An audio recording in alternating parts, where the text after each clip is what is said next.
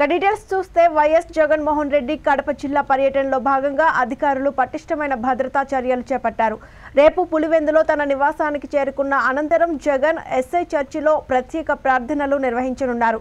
అక్కడి నుండి ఇడుపులపాయలో దివంగత నేత వైఎస్ఆర్ ఘాట్ వద్ద నివాళులర్పించనున్నారు.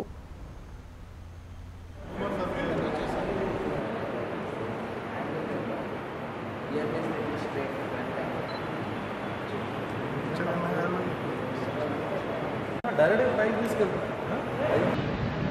నమస్కారం.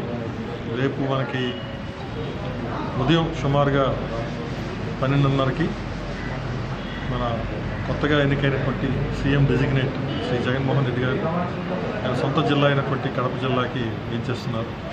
మొదటగా కడప ఎయిర్పోర్ట్కి తిరుపతి నుంచి వస్తారు. అక్కడి నుంచి లోకల్గా ఉన్నటువంటి వర్గాన్ని చూసుకొని అక్కడి నుంచి మరలా ఎయిర్పోర్ట్ నుంచి బై చాపర్ ఇక్కడికి పులివెందులకు రావడం జరుగుతుంది.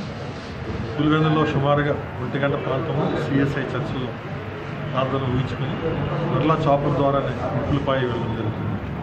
ఉప్పులపాయలో సుమారుగా నాలుగు గంటల వరకు ఉండి తిరిగి ప్రయాణంలో మళ్ళీ